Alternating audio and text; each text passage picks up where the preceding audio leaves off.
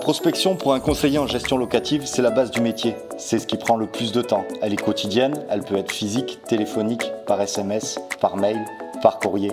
Elle permet de se faire connaître sur une ville, un quartier et naturellement en devenir le référent.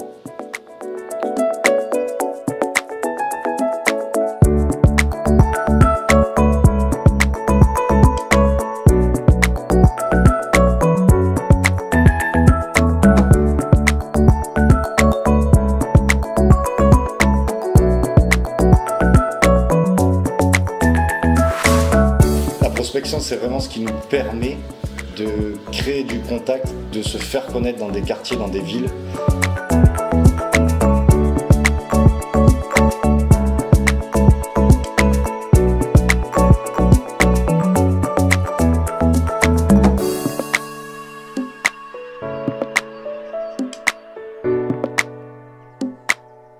Ce matin, c'est prospection à la capte, ce très beau village hiérois auprès des commerçants.